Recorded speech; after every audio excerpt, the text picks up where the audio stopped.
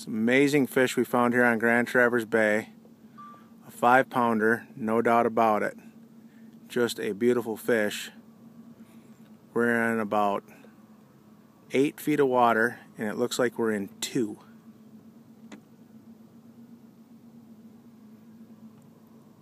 Absolutely amazing. We're about to catch this fish. We're going to document it. But what a beautiful fish.